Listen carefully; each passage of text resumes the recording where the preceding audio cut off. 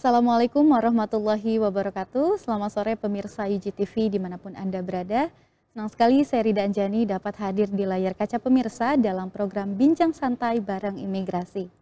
Pemirsa UGTV, program Bincang Santai Bareng Imigrasi ini disiarkan secara langsung melalui UGTV, TV digital komunitas pendidikan pertama di Indonesia, yang mana program ini dapat Anda akses melalui berbagai alternatif saluran yang pertama dapat melalui channel 32 UHF TV Digital atau channel 54 UHF TV Analog atau streaming di www.tv.gunadarma.ac.id atau di www.ugtv.co.id.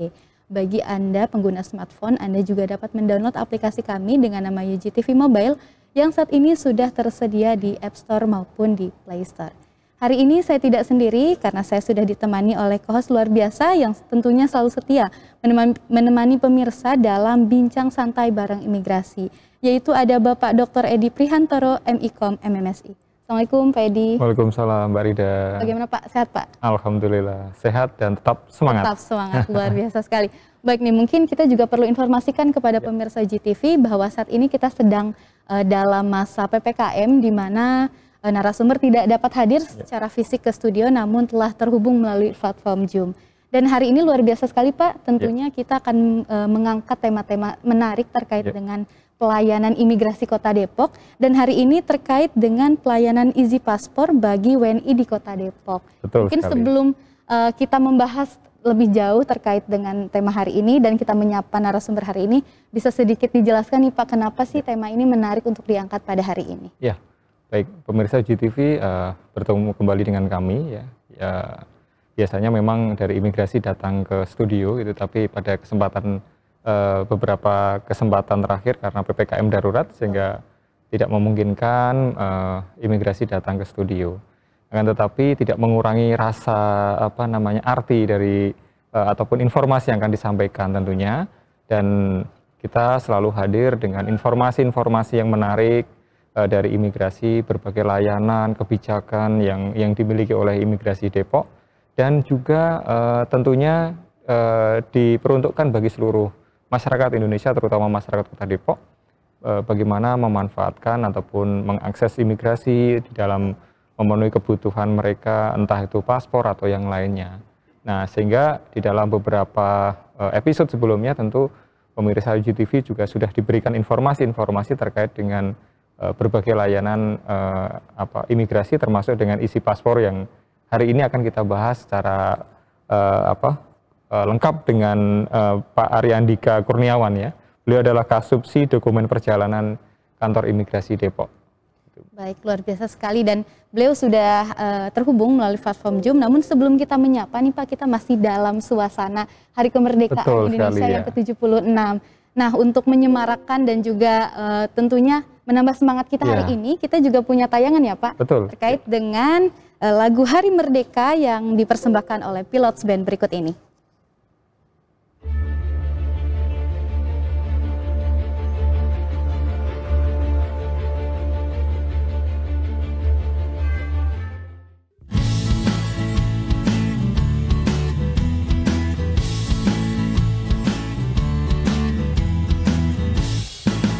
Agustus tahun 45 Itulah hari kemerdekaan kita. Hari merdeka Nusa dan bangsa. Hari lahirnya bangsa Indonesia. Merdeka. Sekali merdeka tetap merdeka.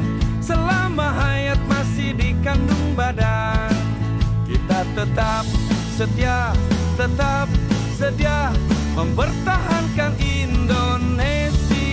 Kita tetap setia tetap setia membela negara kita.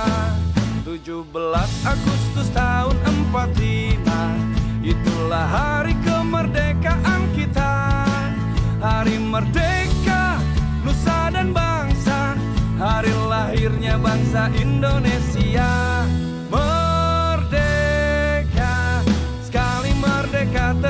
merdeka.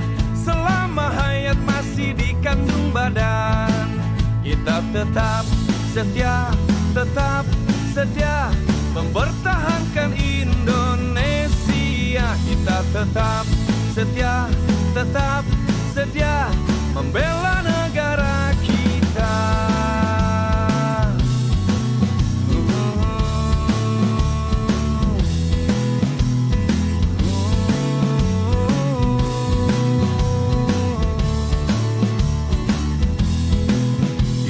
tetap setia, tetap setia mempertahankan Indonesia. Kita tetap setia, tetap setia membela negara kita. Membela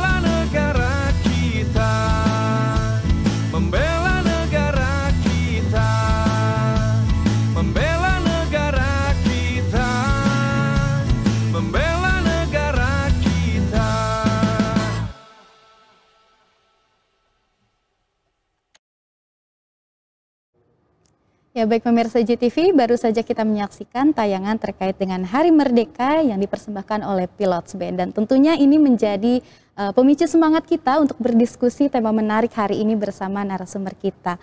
Mungkin Pak Edi bisa langsung disapa narasumber kita dan bisa mempertanyakan nih terkait makna kemerdekaan dari beliau, kemudian seperti apa pelaksanaan uh, peringatan Hari 17 Agustus di kantor imigrasi Depok. Ya, Silahkan. baik sebelumnya mungkin pemirsa GTV kami ingatkan atau kami informasikan kembali bahwa eh, dalam rangka peringatan eh, hari ulang tahun ke-76 kemerdekaan Republik Indonesia itu ada standarnya ya Mbak. Dari Setnek itu kan penyebutannya harus seperti itu. Oh iya, Nah, tentu eh, seluruh rakyat Indonesia, eh, saya rasa mereka semua ataupun kita semua eh, memperingati Hari Kemerdekaan itu dengan penuh sukacita, penuh semangat gitu.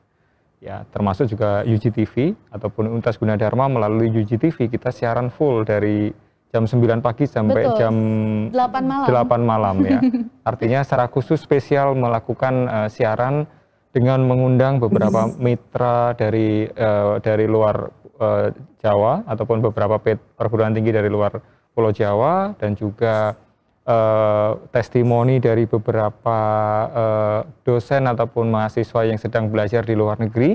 Artinya di saat eh, perayaan kemerdekaan Republik Indonesia eh, mereka sedang di luar negeri itu tentu rasa kebangsaannya akan berbeda Betul, gitu. Betul sekali. Ya. Kemudian juga eh, kita mengundang beberapa eh, mitra Gunadarma termasuk Bu Lisa, Bu Deputi Kemenpan RB juga bergabung di dalam acara tersebut. Tentu ini sangat meriah dengan semata-mata adalah untuk menumbuhkan rasa kebangsaan kita kepada negara kesatuan Republik Indonesia.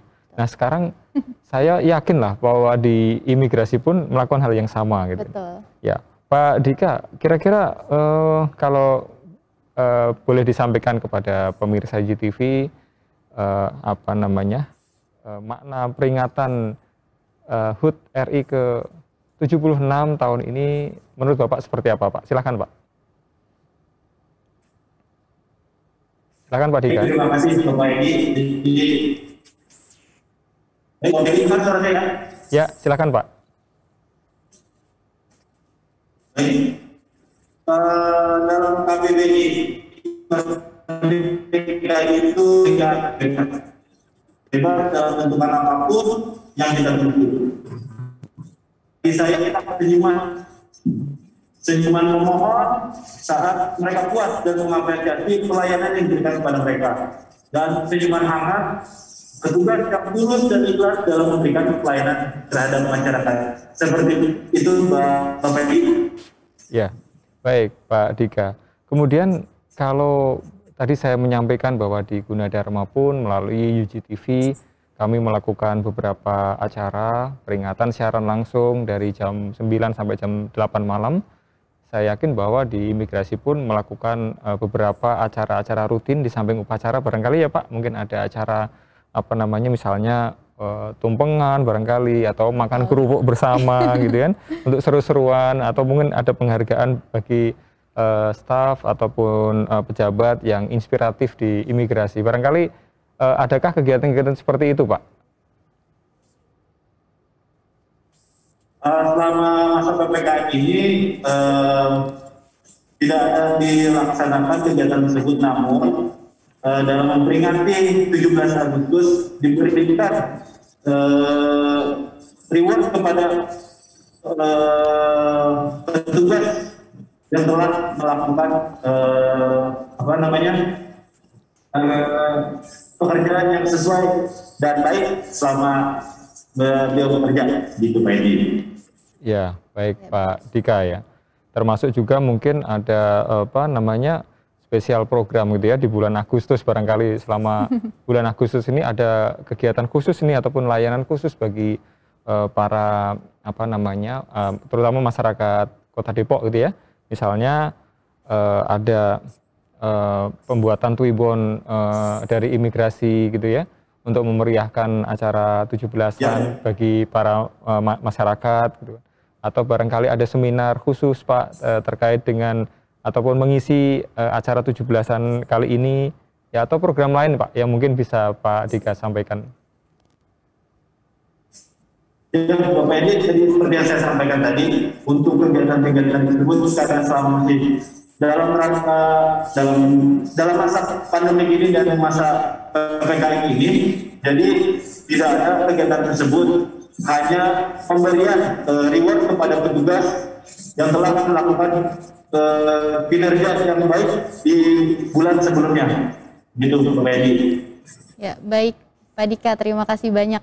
Ini tentunya eh, diperingati dengan meriah gitu ya Pak ya, Ya. dengan semua Ya. keterbatasan yang kita hadapi saat ini. Ya. Baik, mungkin kita eh, masuk ke tema kita yaitu Betul. terkait dengan eh, pelayanan isi paspor bagi WNI di Tapi Kota Depok. mungkin sebelumnya ini dulu Mbak, eh, apa sih paspor itu? Barangkali kan Ah, betul. kita coba mengingatkan kepada masyarakat, Betul sekali. mengedukasi masyarakat, menginformasikan, mengedukasi masyarakat. Apa sih paspor itu? Barangkali ada masyarakat Depok yang belum tahu Betul. dan menjadi pemirsa UGTV ya atau melihat pada tayangan live sore hari ini Mm-mm. sehingga mereka punya gambaran bahwa paspor itu apa sih. Nah. Pak Dika kalau bisa disampaikan kepada kami, dijelaskan kepada pemirsa tentunya ya, apa sih paspor itu Pak? Silakan. dapat saya jelaskan di sini. Paspor itu apa dokumen perjalanan Republik Indonesia adalah dokumen yang dikeluarkan oleh negara yang diberikan kepada warga negara Indonesia yang digunakan untuk beper- bepergian ke luar negeri. Jadi sebagai pengganti identitas eh, warga negara Indonesia yang berada di luar negeri seperti itu Pak Edi. Nah, berlakunya berapa lama Pak? Mungkin bisa dijelaskan juga. Untuk saat ini masa berlaku paspor itu lima tahun. Ya, artinya bahwa ketika eh, masyarakat itu memiliki paspor, kemudian waktunya lima tahun, tetapi kalau sebelum lima tahun sudah habis Pak, itu bagaimana prosedurnya? Jadi eh, bagi masyarakat yang paspor yang masa berlakunya sudah habis, eh, silakan datang ke kantor imigrasi untuk mengajukan perpanjangan. Jadi di dalam peraturan International Association of Indonesia itu atau ICAO itu menyebutkan paling minim enam bulan sebelum masa berlakunya habis segera diperpanjang. Karena apabila tidak diperpanjang dan memaksakan berangkat, eh, kemungkinan bisa dikembalikan ke negara asalnya. Seperti itu, Bapak. Oke, kalau selama ini barangkali eh, ada nggak Pak kasus misalnya ternyata lupa gitu kan ya, lupa kemudian sampai pada hari H itu atau malah bahkan lewat harinya baru ingat kemudian ke imigrasi itu bagaimana Pak? apabila masyarakat eh, paspor masa berlaku eh, paspornya sudah habis, eh, yang penting yang penting paspornya itu masih ada pak. Jadi walaupun dia telat satu hari, dua hari ataupun satu tahun, namun fisiknya masih ada, silakan diperpanjang. Tapi apabila paspornya hilang atau rusak, nah itu yang harus diperhatikan oleh pemohon. Jadi kalau rusak itu nanti akan dilak- di- dilakukan pemeriksaan kenapa sampai rusak. Terus sama hilang pun juga kenapa bisa sampai hilang gitu pak. Dan itu juga ada dendanya yang diatur oleh undang-undang.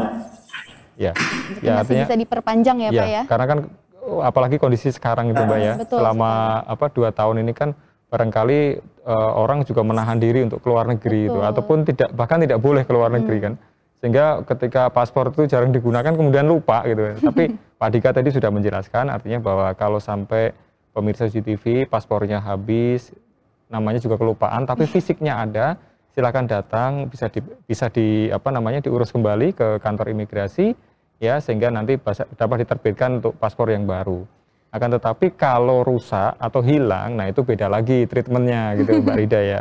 Ya dan ternyata paspor itu ada beberapa jenis Pak. Ya, Kalau kita ketahui ya ada mungkin bisa sampai enam jenis, Ya. namun ada tiga jenis paspor yang Ya. populer. Mungkin kita Ya. bisa tanyakan juga ke Pak Ya. Dika nih eh, penjelasan terkait dengan eh, jenis-jenis pa- paspor itu ada apa aja sih Pak?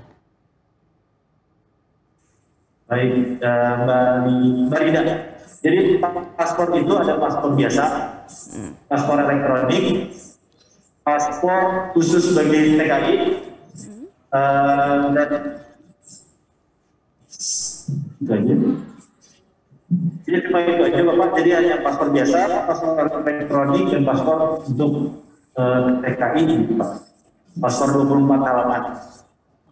Oke. Ya, jadi kalau kita melihat ini Mbak Rida ya, kalau kita saya mencoba meng, mengeksplor apa namanya eh, webnya kantor imigrasi Depok ya, itu kan ada paspor itu ada paspor diplomatik, kemudian paspor dinas, kemudian paspor biasa. gitu. Nanti eh, mohon koreksi Pak Dika kalau salah ya, kalau yang paspor diplomatik itu kan diterbitkan bagi warga negara Indonesia yang melakukan perjalanan keluar wilayah Indonesia dalam rangka penempatan atau perjalanan tugas yang bersifat diplomatik, gitu kan. Nah, ke- sedangkan kalau eh, apa namanya paspor eh, dinas itu diterbitkan bagi WNI yang melakukan perjalanan keluar wilayah Indonesia dalam rangka penempatan dan perjalanan dinas yang tidak bersifat diplomatik. Jadi kalau yang diplomatik itu memang khusus untuk perjalanan diplomatik, yang yang non diplomatik perjalanan dinas tapi bukan diplomatik ya. baik. Dan satu lagi misalnya untuk apa namanya eh, yang menerbitkan juga berbeda. Nanti eh, Pak Dika akan menjelaskan ya di segmen ya, yang Pak, ya? yang kedua ya Mbak Iya. untuk untuk me- mencoba menjelaskan apa sih karena masyarakat saat ini kan Betul. apa namanya memperhatikan semua informasi yang ada di web imigrasi sendiri atau informasi-informasi di media sosial eh, apa ka- kantor imigrasi gitu ya. Jadi apa sih yang disebut dengan walaupun bukan diplomat tapi kan kadang apalagi apalagi para eh, apa namanya anak-anak sekarang ya eh, itu pasti akan mencari tahu apa sih paspor diplomatik apa sih bedanya dengan eh, paspor, biasa, dan lain gitu sebagainya. ya. Oke. Iya. Baik, ini luar biasa sekali akan kita bahas ya Pak di segmen Ya. kedua. Namun sebelum itu pemirsa UGTV jangan ke mana-mana karena kami akan segera kembali tetap dalam program Bincang Santai bareng Imigrasi.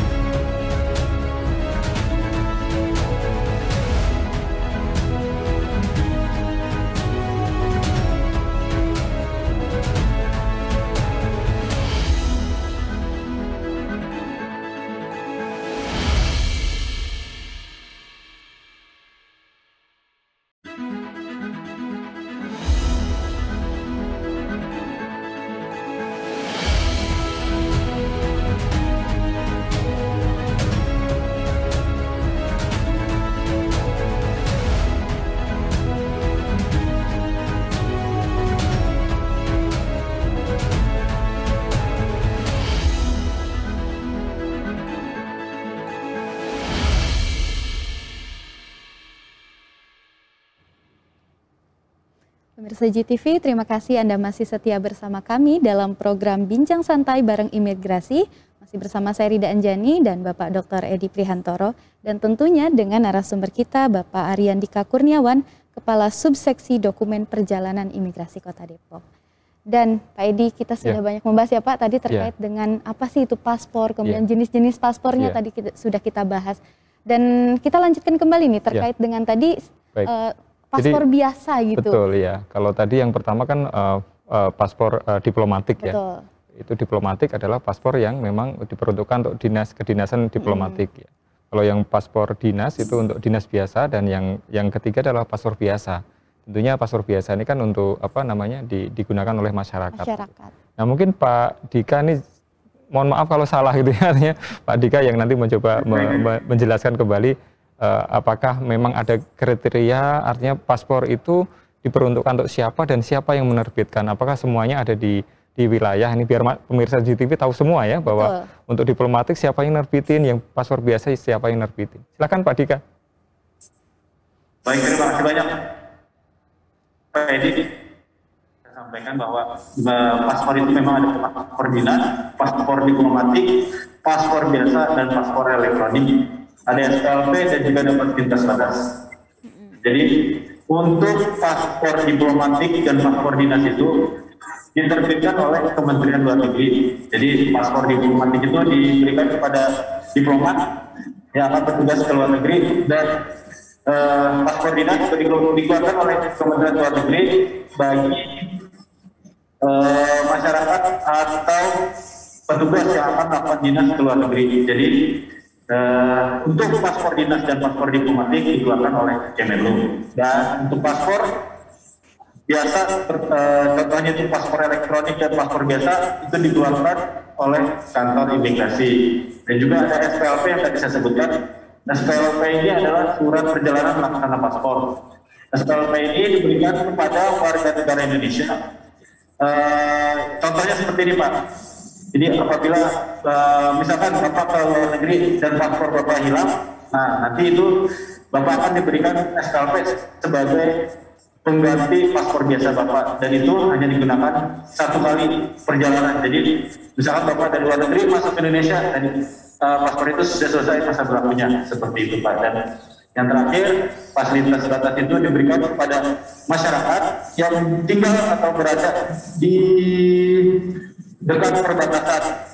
Contohnya seperti di Epitop itu uh, ada fasilitas batasnya seperti itu Pak Edi. Terima kasih. Nah, kalau kalau yang di perbatasan begitu Pak, apakah katakanlah waktu itu saya pernah ke perbatasan Malaysia Indonesia di Aruk ya Pak, perbatasan Aruk.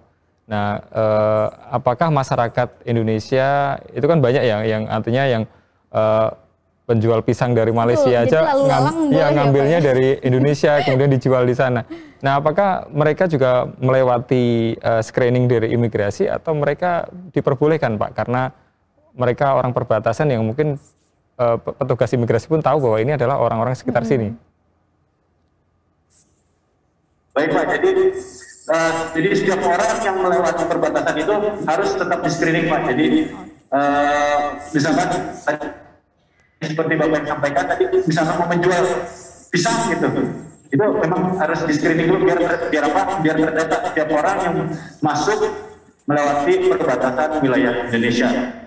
Begitu Bapak. Jadi ter- terekam setiap orang yang masuk dan keluar terekam di sistem eh, imigrasi Pak. Ya, baik ya Pak Pak Dika ya.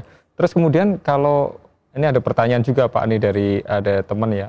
Perbedaan 24 lembar dan 48 lembar itu apa Pak ya kriterianya ya Pak? Eh Bapak mohon eh, tadi saya jelaskan eh, 24 halamannya. Jadi untuk saat ini paspor 24 halam, halaman sudah tidak ada Pak. Jadi Oh. eh, seluruh seluruh masyarakat yang akan permohonan paspor itu akan mendapatkan paspor 48 halaman dan paspor 24 halaman sudah tidak eh, diberlakukan lagi. Itu Bapak. Baik, Pak Dika ya. Kemudian kita pindah nih, Mbak Di, Mbak Mbak Rida ya. Kalau eh, kalau paspor itu kan di sini ada apakah eh, atau maksud dari ada pena, ada ada informasi nih Pak, penarikan, pencabutan, pembatalan dan penggantian paspor biasa. Ini maksudnya apa ya Pak? Penarikan, pencabutan dan pembatalan baik Bapak. Jadi eh, penarikan, pencabutan dan pembatalan. Jadi eh, penarikan itu apabila eh, masyarakat atau pemegang paspor itu melakukan tindak pidana. Contohnya eh, masuk daftar cekal. Paspornya akan dicabut dan akan diberikan masa penangguhannya Pak sampai kan dari notice jadi masyarakat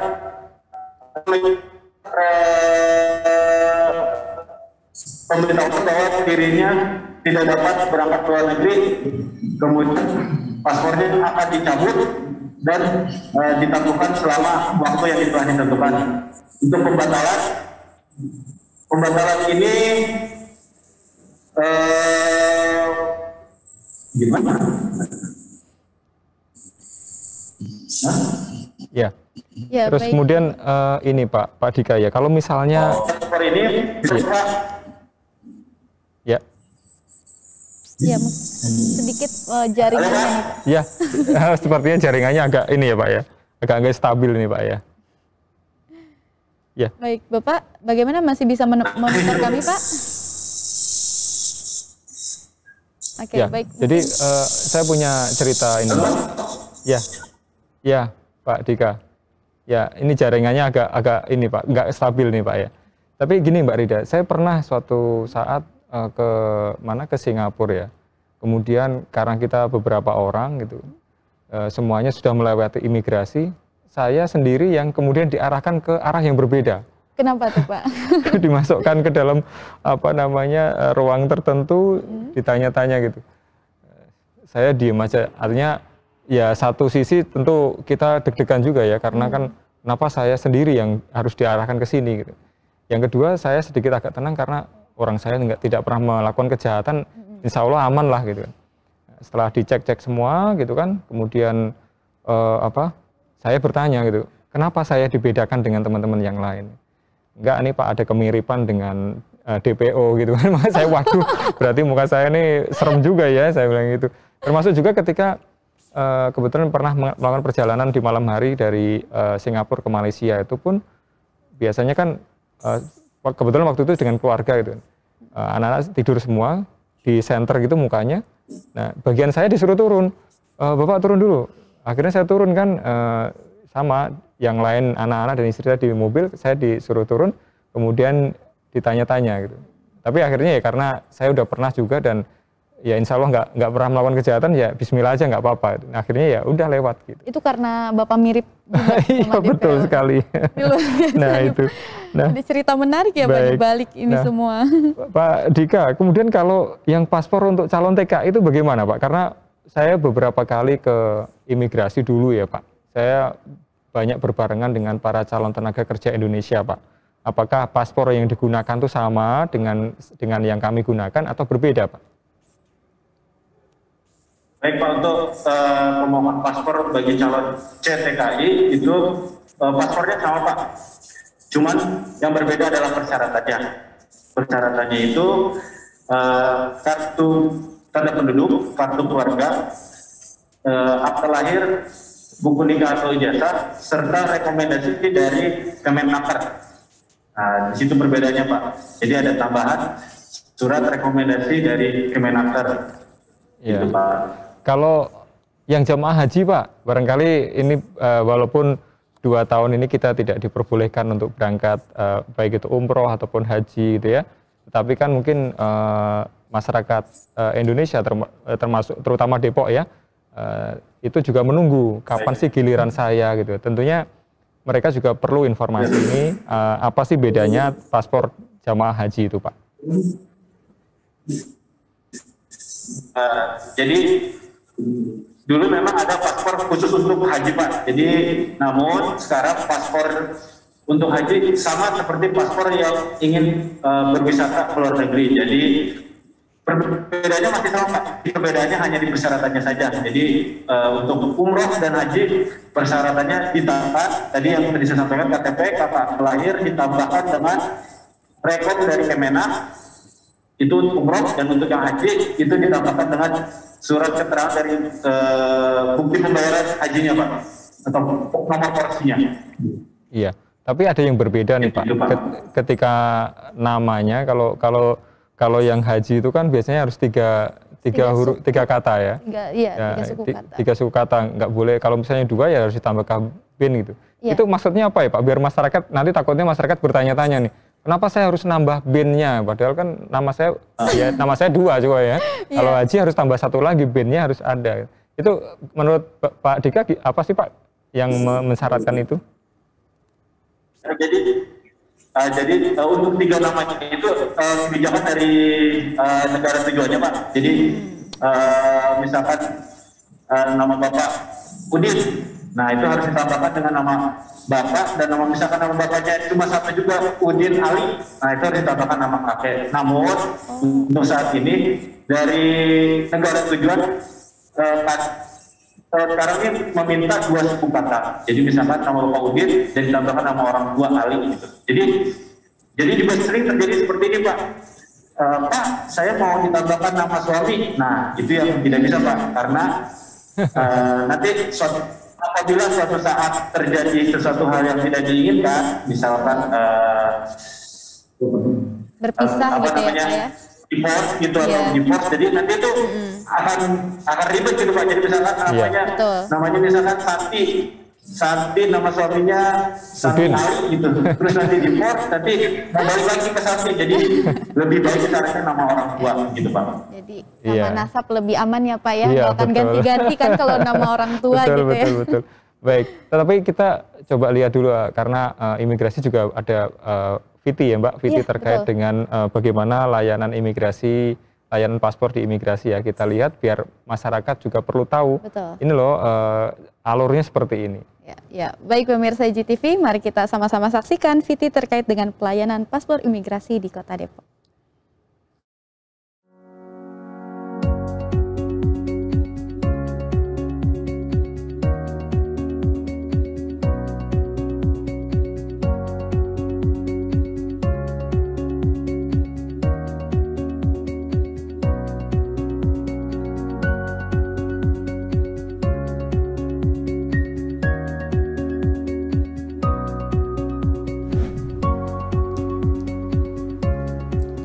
Assalamualaikum warahmatullahi wabarakatuh.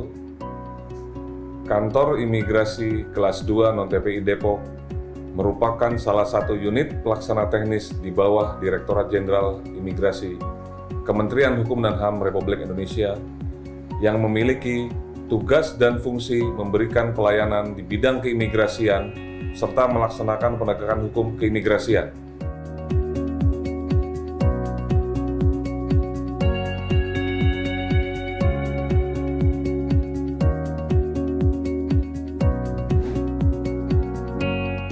Pelayanan keimigrasian yang kami laksanakan di antaranya yakni pelayanan paspor dan pelayanan izin tinggal keimigrasian.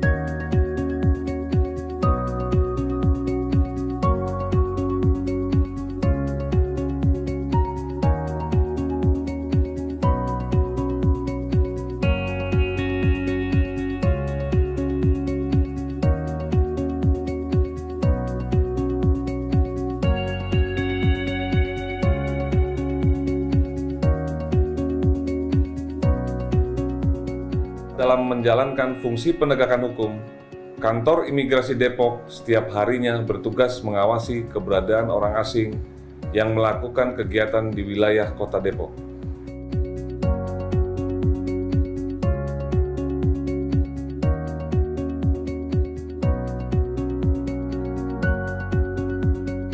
Kantor Imigrasi Depok telah beroperasi sejak tanggal 12 Maret tahun 2008. Kami berkomitmen untuk memberikan yang terbaik kepada masyarakat, tentunya dengan pelayanan yang ramah dan selalu berkinerja dengan dedikasi yang tinggi.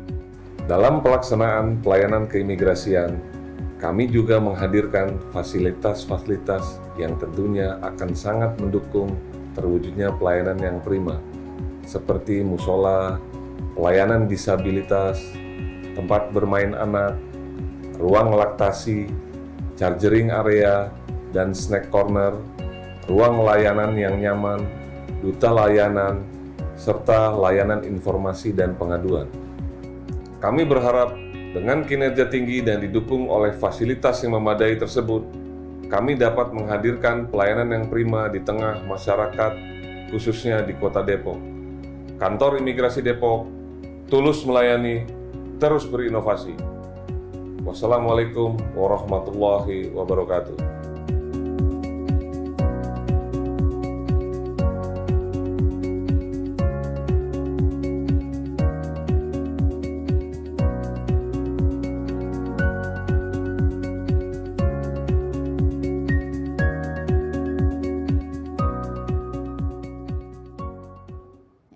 Pemirsa IGTV, baru saja kita menyaksikan tayangan terkait dengan pelayanan paspor di Imigrasi Kota Depok. Ini luar biasa sekali pelayanannya bisa dikatakan sudah sangat baik dan Betul. tentunya eh, menyediakan fasilitas untuk publik yang memadai Iya. ya Pak ya. Kalau Pak Kepala Kantor tadi kan mengatakan apa kantor imigrasi Depok tulus melayani, terus berinovasi Terus gitu ya. berinovasi, luar biasa nah itu sekali. itu adalah tekad yang memang membakar Iya. semangat eh, seluruh eh, apa namanya eh, elemen yang ada di kantor imigrasi Depok untuk terus berinovasi, melayani, memberikan layanan yang terbaik kepada masyarakat gitu. Betul sekali. Tentunya eh, pemirsa GTV eh, tadi sudah disampaikan ataupun ditunjukkan ya kepada eh, melalui VT tadi, melalui video typing tadi bahwa eh, imigrasi Depok eh, memiliki layanan yang cukup lengkap ya. Eh, tadi Pak Kepala Kantor sudah mendeskripsikan sangat jelas ya dari awal sampai akhir bagaimana masyarakat seandainya mau datang ke sana layanannya apa saja. Bahkan eh, nggak usah khawatir kalau yang sedang apa eh, bawa anak kecil pun bisa menunggu orang tuanya tidak rewel gitu kan. Ada tempat bermain anak gitu. Nah itu tentu adalah Ya. eh, beberapa hal yang inovasi yang diberikan kepada eh, masyarakat ya sehingga memberikan layanan yang terbaik untuk masyarakat. Nah terkait dengan sedikit ini saya tertarik ini mbak. Ada di dalam webnya kantor imigrasi itu ada eh, rekomendasi visa bekerja dan berlibur Hmm. Nah, itu maksudnya apa ya? Mungkin Pak Pak Dika bisa menjelaskan, Pak. Silakan, Pak. Halo Pak Dika. Ya, Siap. terdengar jelas Bu suaranya Bu. Terdengar sangat jelas Bapak. Ya. Bagaimana? Terdengar Baik. sangat jelas. Uh, maaf, suara Ibu bisa diulangi kembali? Ya, eh, Pak Dika, kalau tadi saya melihat kembali ya Baik. mengen- mengenai informasi yang ada di web itu kan ada eh, paspor eh, rekomendasi visa bekerja dan berlibur gitu. Itu maksudnya apa ya, Pak Dika ya? Rekomendasi bisa bekerja dan Berlibur. Betul, betul, Pak. Baik Bapak, jadi eh,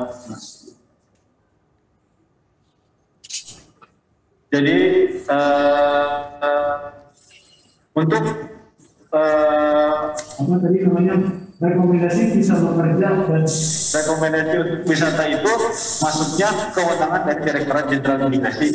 Eh, link yang ada di website tersebut eh, itu langsung ke Direktorat Jenderal Imigrasi gitu Bapak. Ya, baik. Terima, terima kasih Pak Dika ya. Jadi eh, Mbak Rida, ini kalau kalau kita me- apa namanya melihat dari eh, webnya imigrasi gitu kan detil ya. Terima kasih Pak Pak Dika dan imigrasi yang sudah memberikan informasi kepada kita bahwa program bekerja dan berlibur ini atau visa work and holiday ya itu mendorong pertukaran budaya dan bu- hubungan person to person yang lebih erat dengan memungkinkan pemuda-pemudi Indonesia untuk menghabiskan liburan panjang serta dapat melakukan pekerjaan jangka pendek di Australia. Itu awalnya seperti itu. Dan jumlahnya makin lama makin meningkat eh, antanya antara eh, kerjasama antara Indonesia dan Australia.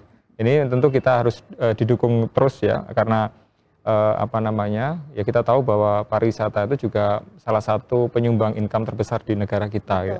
sehingga ter- perlu terus dikembangkan gitu. Eh, pemirsa GTV bahwa eh, informasi-informasi tadi ya terkait dengan apa itu paspor, kemudian bagaimana cara mencarinya, syaratnya apa, itu sebetulnya semuanya sudah ada di di dalam Website web ya, ya? websitenya ke- Imigrasi Depok. Nah, eh, nanti kita akan lanjutkan kembali ya untuk untuk bincang-bincang tentang isi paspor ini yang nanti akan dijelaskan oleh Pak Dika gitu kan ya. Betul Tapi silakan Mbak. Ya, baik pemirsa GTV, kita akan uh, banyak uh, membahas nih terkait dengan isi paspor di segmen ketiga dan tentunya jangan ke mana-mana karena kami akan segera kembali tetap dalam program uh, Bincang Santai bersama Imigrasi.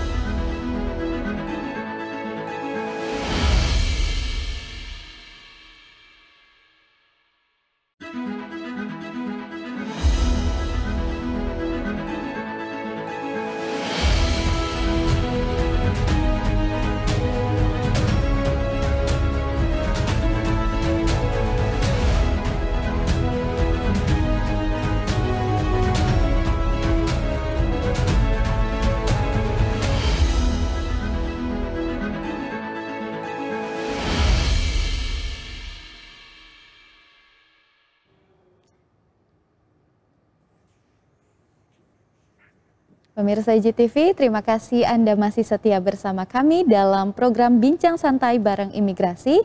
Masih bersama saya Rida Anjani, Bapak Dr. Edi Prihantoro, dan juga narasumber kita Bapak Aryan Dika Kurniawan, Kepala Subseksi Dokumen Perjalanan Kantor Imigrasi Kota Depok. Baik, di segmen ketiga ini kita akan membahas terkait dengan isi paspor bagi WNI di Kota Depok. Dan tentunya Pak Edi tadi ya. sudah membahas banyak ya Pak ya? Ya terkait Jadi, dengan paspor itu sendiri. Ya, kalau tadi di segmen sebelumnya kan kita berdiskusi mengenai apa sih paspor itu, ada berapa macam paspor, kemudian uh, ketentuannya seperti apa. Tadi Pak Dika juga menjelaskan uh, uh, terkait dengan kebijakan uh, 24 dan 48 lembar tadi juga sudah ya, disampaikan itu sudah oleh ada kebijakan baru ya, sekarang 48 ya, ya Pak ya. sudah disampaikan oleh Pak Dika. Terus kalau jemaah haji seperti apa? Hmm Tentunya informasi-informasi ini penting sekali untuk diketahui oleh masyarakat uh, secara uh, apa namanya nasional ya, terutama masyarakat Kota Depok gitu ya. Sehingga ketika nanti uh, akan mengambil ataupun berniat untuk mengurus paspor, tentunya sudah punya gambaran yang jelas mengenai apa sih yang akan saya butuhkan gitu. Nah, tetapi ini yang menarik adalah uh, terkait dengan isi paspor. Nah, muncul sebetulnya istilah baru ya. Iya, itu apa sih sebetulnya isi iya. paspor itu? Nah, mungkin kita nah. coba uh, lihat ya visualisasinya dulu ya sebelum kita uh, mendengarkan penjelasan dari Pak Dika gitu ya. Baik, kita juga punya tayangan nih terkait dengan penjelasan mengenai isi paspor itu apa sih pemirsa IGTV. Mari kita simak berikut videonya.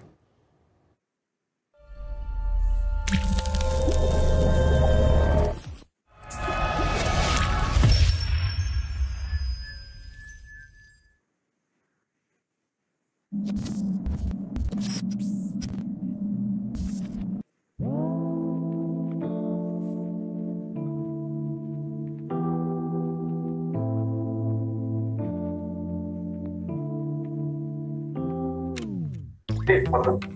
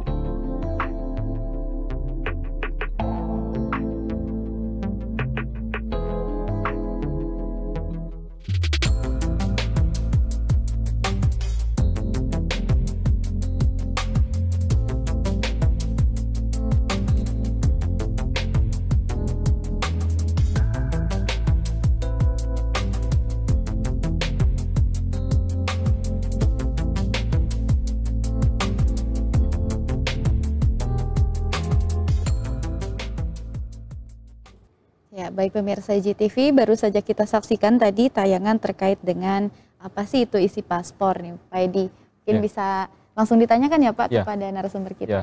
Pak Dika mungkin langsung membahas ya mengenai VT tadi, kira-kira uh, adanya VT tadi itu uh, apa sih Pak yang yang layanan isi paspor itu seperti apa sih Pak Dika? Silakan Pak Dika. Baik Pak Edi, terima kasih. Jadi isi paspor itu uh, isi itu dari kata isi di situ mudah. Jadi uh, izin paspor adalah satu upaya dari Direktorat Jenderal Imigrasi untuk meningkatkan pelayanan paspor kepada masyarakat di masa pandemi saat ini. Jadi pelayanan paspor secara kolektif yang dilaksanakan di luar kantor di tempat pemohon itu ini. Jadi misalkan uh, Universitas Dharma ingin menunjukkan pelayanan uh, izin paspor, nanti bukan uh, bukan pemohon dari Universitas Dharma yang datang, nanti kita ingin kita yang datangi ke lokasi tersebut. Begitu Pak Edi. Oh, ini menarik Kolektif menarik ya, Pak sekali ya? ya, menarik sekali ya. Artinya Iya, betul. eh, kalau Betul, kalau. Iya, kalau pemirsa GTV ini bisa melihat apa yang disampaikan oleh Pak Dika ya mewakili kantor imigrasi, tentu ini adalah kemudahan yang ditawarkan oleh eh, imigrasi bisa dikatakan sebagai inovasi lah ya. Di kala pandemik ini eh, imigrasi bisa memberikan layanan untuk menjemput ya, artinya datang ke eh, katakanlah ke Gunadarma gitu. Jadi para mahasiswa tentunya kalau nanti Anda ingin membuat secara kolektif bareng-bareng nanti di Gunadarma difasilitasi oleh oleh imigrasi. Nah, kalau tadi kan visualisasinya sedang eh, di satu perumahan di Depok ya. Artinya ya itulah masyarakat menyambut dengan antusias apa yang menjadi inovasi dari kantor imigrasi Depok gitu ya. Kemudian eh, berikutnya Pak Dika, kalau isi paspor itu kapan sih mulai diberlakukan gitu ya? Apakah karena pandemik ini kemudian muncul inovasi seperti ini atau memang sudah ada rencana sebelumnya sebelum pandemik itu sudah direncanakan bahwa nanti inovasi ak- akan ada inovasi baru nih seperti ini gitu kan? Atau memang ketika ketika pandemik datang kemudian inovasi itu diciptakan dan muncullah isi paspor. Menurut eh, gimana Pak Dika? Silakan. Uh, jadi sebelumnya sebelum ada ini paspor ini ada namanya pelayanan pelayanan paspor simpatik. Nah pelayanan paspor simpatik ini dilaksanakan setiap setiap hari Sabtu.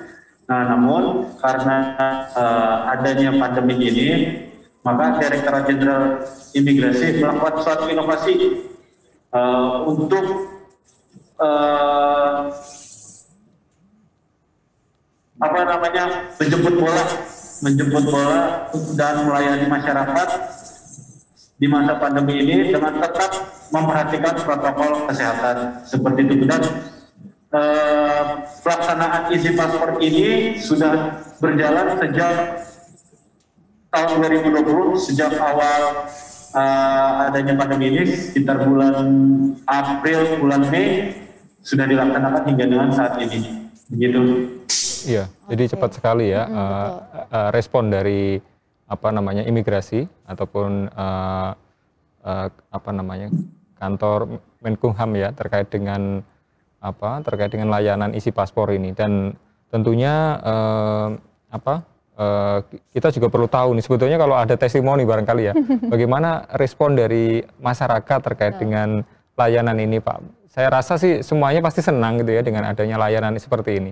Tapi kita tanya Pak Dika karena Pak Dika kan a- yang muncul di video tadi kan, Betul. beliau ikut dalam eh, layanan tadi. Kira-kira bagaimana Pak respon dari masyarakat Pak? Alhamdulillah Pak, respon dari masyarakat senang. Jadi masyarakat yang tadinya takut untuk keluar rumah, jadi merasa terbantu eh, dengan adanya layanan izin paspor ini. Jadi mereka eh, tidak tidak takut. Jadi karena adanya layanan izin paspor ini mereka eh, merasa terbantu gitu Pak. Iya. Eh, pasti ya, pasti pasti mereka senang lah gitu kan. Saya juga merasa senang kalau memang eh, apa namanya eh, ada apa eh, hal yang itu bisa dilakukan bersama-sama gitu. Nah kemudian kalau tapi tetap protokol kesehatan dijaga, tetap pakai itu kan ya. Betul dong. Nah kalau secara umum, eh, secara umum Pak Dika, kira-kira eh, dari imigrasi sendiri itu eh, terutama Depok ya, apakah melakukan eh, apa namanya? eh, berapa persen sih eh, masyarakat itu yang kemudian menikmati layanan isi paspor itu? Artinya mungkin ada Capaiannya evaluasi ya, Pak, ya? capaiannya berapa persen gitu terhadap terhadap pelayanan di kantor imigrasi Depok walaupun memang dalam pandemi ini tentu ada perbedaan ya Pak Pak Dika ya. Tapi mungkin eh, ya kantor imigrasi bisa melihat eh, berapa cap- atau cap- bagaimana capaian dari program ini Pak? Silakan Pak. Ini uh, Pak Edi, jadi eh, sejauh ini kita uh, melakukan bayaran indikator ini kurang lebih sekitar 10 titik Pak.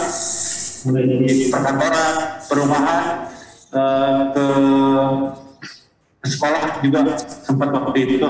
Jadi eh, apa namanya?